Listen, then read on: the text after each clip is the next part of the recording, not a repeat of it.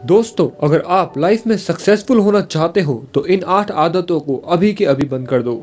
Number एक, अपने आप को लाड करना बंद करो, क्योंकि सक्सेस आपके कंफर्ट जोन के बाहर मिलेगी।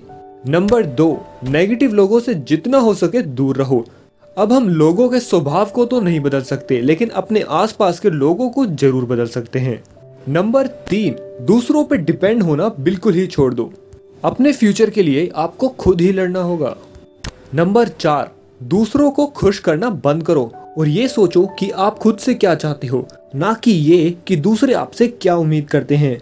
नंबर पाँच, सिर्फ़ अपने लक्ष्य के बारे में सोच के खुश मत हो, बल्कि डेली उन आदतों की रूटीन बनाओ जो आपके लक्ष्य को हासिल करने में आपकी मदद करेंगी। नंबर छ अपने शरीर को हल्के में लेना बंद करो, अपनी सेहत पर ध्यान दो अच्छा खाना खाओ प्रॉपर नींद लो और अपने शरीर और दिमाग को फ्रेश रखो। नंबर सात फेलियर से डरना बंद करो, क्योंकि असफलता ही सफलता की सीढ़ियाँ बनती हैं। नंबर आठ क्विक सक्सेस के पीछे मत भागो। सब्र और मेहनत से अपने लक्ष्य को प्राप्त करें। इस वीडियो के लिए इतना ही।